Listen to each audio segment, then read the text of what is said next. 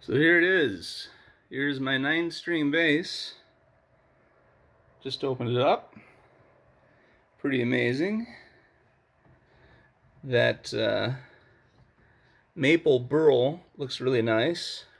Comes through the green color really nice here. We can hear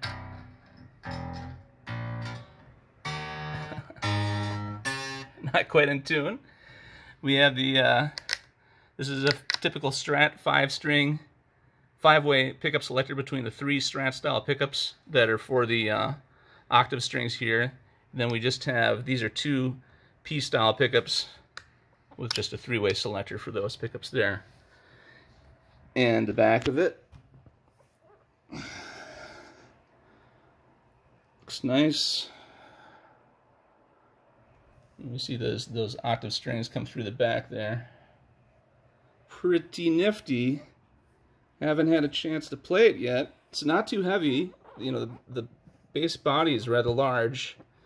I was worried that it was going to be heavier than hell, but it's not too bad. So, looking good. Wonderful to get it. What does Max think of it? Max, what do you think? What do you think of this new bass, huh? He's like, I don't know. I don't know. Max doesn't know.